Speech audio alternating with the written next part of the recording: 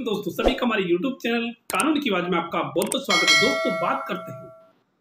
ससुराल में पत्नी के क्या क्या अधिकार हैं, क्या अधिकार नहीं है, ये सारी चीज़ें अपन इस वीडियो में जानेंगे। लेकिन आप अगर हमारे इस चैनल से नहीं हो तो प्लीज़ हमारे चैनल को सब्सक्राइब करें और बेल आइकन है उसे प्रेस कर लें, जिससे इस चैनल पर जो भी नया वीडियो अपलोड हो, उसकी जानकारी आप तक पहुँचे। अब बात करते हैं, ससुराल में पत्नी के क्या क्या अधिकार हैं। दोस्तों जैसे उदाहरण के तौर पे आपको बता दूँ, एक पति है, पत्नी है। पति और पत्नी। पत्नी अपना पूरा जीवन शादी के बाद ससुराल में गुजार देती है, लेकिन अगर पत्नी को अपने अधिकार के तहत कुछ इस प्रकार की परिस्थितियाँ बनती है, जो दोनों हस्बैंड वाइफ के बीच अनबन हो जाती है। अनबन होने के बावजूद या तो उसका पति ऐसा हो जो दारू या ऐसी मानसिक लत पड़ती हो या किसी भी महिला के साथ गलत व्यवहार करता है किसी महिला के साथ ऐसे संबंध हो जिससे दोनों के बीच दोनों की ज़िंदगी में एक उफान सा आ जाता है। उफान सा मतलब दोनों की ज़िंदगी बर्बाद होने के कगार पे हो जाती है। तो उस कंडीशन में क्या महिला अपने अधिकार के प्रति सजग है?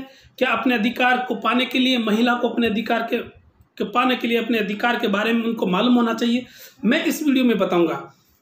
अनुच्छेद 21 स्पष्ट कहता है कि किसी भी महिला हो या पुरुष, उसे आज़ादी से जीवन जीने का अधिकार है, अपने आर्टिकल इक्कीस में स्पष्ट कहा है। इसलिए दोस्तों, महिला के पास, उसके पास बहुत सारे अधिकार हैं। महिला अगर ऐसे उसके पति मिल जाता है, जो दारू पीता है, किसी महिला के साथ अवैध संबंध हो तो उसके खिलाफ वो चार सौ चौरानवे आई का केस ला सकती है, या चार सौ छः का ला सकती है, एक सौ पच्चीस भी कर सकती है, खर्चा के भी कर सकती है, क्योंकि उसके पास बहुत सारे अधिकार हैं। लेकिन दोस्तों, ये चीज़ कब होती है? मान लो, दोनों के अनबन हो जाती है, रिश्ता 99 परसेंट टूटने के कगार पे है और महिला अपने मायके के चली जाती है तो महिला के पास ये अधिकार है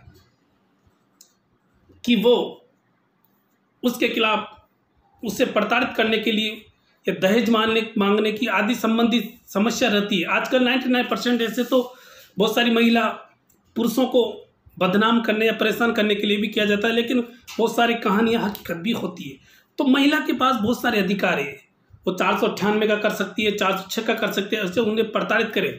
उनको अगर इस प्रकार के कष्ट दहे, इसके साथ साथ एक सौ पच्चीस सी का कर सकती है, भरण पोषण भी प्राप्त कर सकती है, और इसके साथ साथ अगर दोनों के रिश्ते में शादीशुदा है, उसके बावजूद अगर उसका हस्बैंड किसी भी महिला के साथ शादी कर लेता है, या किसी महिला के साथ अवैध संबंध रखता है तो वो चार सौ चौरानवे आई चार सौ चौरानवे का केस भी कोर्ट द्वारा दायर कर सकती क्योंकि अपने कानून में स्पष्ट लिखा है, अगर शादीशुदा महिला किसी भी व्यक्ति के साथ या किसी भी शादीशुदा पुरुष किसी भी दूसरे व्यक्ति के साथ शादी करता है, या अवैध संबंध रखता है, या कानूनी तौर पर शादी नहीं मानी जाती, या इस प्रकार भगा के शादी कर लेता है पहली पत्नी का तलाक के बिना तो उसके खिलाफ चार चौरानवे का क्राइम बनता है। इसलिए दोस्तों, महिला के पास बहुत सारे अधिकारी ससुराल में रहते हुए भी ससुराल में रहते हुए भी वो इस प्रकार के केस दायर कर सकती है। अगर उन्हें दहेज की मांग करते हैं ससुराल वाले तो चार सौ छः चार सौ अट्ठानवे एका कर सकती है। अगर उसका पति दारू पीता है या पैसे नहीं कमाता है तो उससे भी वो वहाँ बैठे हुए भी एक सौ पच्चीस का केस या खर्चा भरण पोषण ले सकती है। अगर वो कुछ सक्षम नहीं हो तो अगर वो सक्षम है तो ये सारी चीज़ें नहीं ले सकती।